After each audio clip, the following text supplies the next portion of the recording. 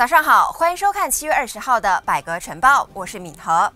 这个月才开跑的汽车保险自由浮动价格机制，现在交通部也有意思要延伸到路税，以便奖励和鼓励那些守法和记录良好的驾驶者。今天马来报每日新闻在头版就刊出了这项消息，写道：驾驶越多，路税给更多。因为路税采取自由浮动价格机制之后，将会按照驾驶者的交通违规记录和交通工具的使用情况来决定路税要给多少。不过，交通部长廖中来却说。说这一切还在探讨中，不是现在就要落实。新海峡时报独家报道了。大马 IS 的新领袖，也就是年仅二十五岁的佛哈尔奥马，已经被炸死了。他是在叙利亚北部城市拉卡的一场空袭当中身亡。另外，报道也指出，分析家发现 IS 在亚洲崛起了新的战场，就在菲律宾南部的棉兰老岛，那里聚集了大约一百名外国斗士，而且人数有可能还会陆续的增加。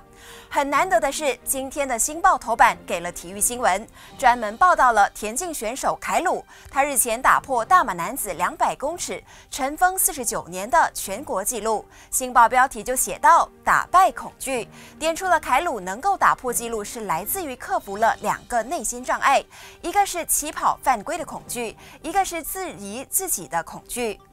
无独有偶的是，就在昨天，我们还在睡梦中的时候，我国跳水女将张俊宏，她在匈牙利的布达佩斯举办的国际泳联世界游泳锦标赛中，女子的十公尺高台跳水中，勇夺了大马第一枚的女子跳水金牌，为大马缔造了首个跳水世界冠军的历史纪录。这次负伤参赛的张俊宏在决赛中发挥了出色的表现，完成了五次的跳水，累积了三百九十七点五零分，并且以一点五分的差距惊险打败中国奥运跳水冠军任茜和亚军司雅杰。张俊宏随后也在脸书发表贴文，表示对自己创下了历史感到难以置信，更表示说不知道该说什么和怎么形容自己的心情。至于同样晋级女子十公尺跳台决赛的大马跳水公主潘德雷拉，则以三百二十二点四零排行在第九，完成了比赛。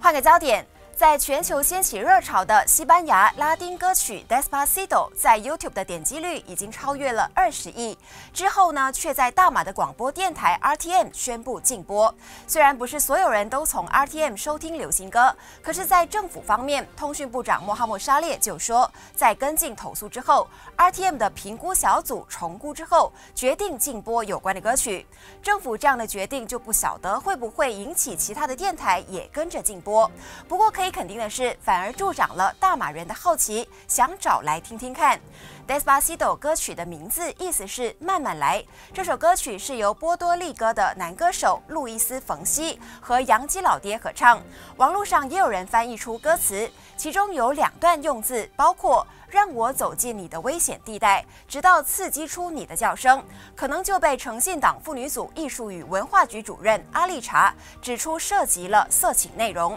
还有鼓吹性爱。不符合我国奉行的东方价值以及伊斯兰教义。不过，随着歌曲在 RTM 禁播之后，也掀起了大马网民的讨论。有人就认为听不听应该是属于个人的选择，也有网民支持禁播，认为道德价值应该受到维护。